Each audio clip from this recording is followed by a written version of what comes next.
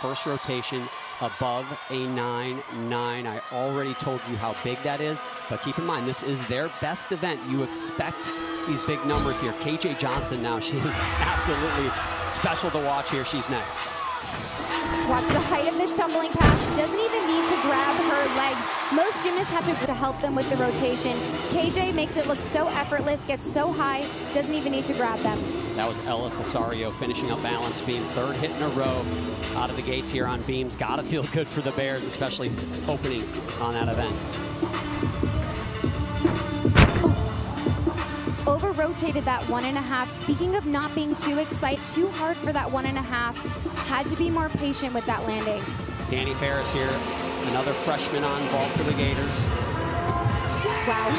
Beautiful landing. I think that will only be a half attempt deduction for that. It's going to be a big score. KJ on floor in gymnastics, when you start on floor and you're so excited, it can be really hard to calm yourself down. You hear the crowd, and also they know that they can win this national championship. It is hard to do your normal under that kind of pressure. Beautiful double tuck last pass. Very uncharacteristic mistake. I bet she's never made that mistake in competition as a Tiger, but they've got three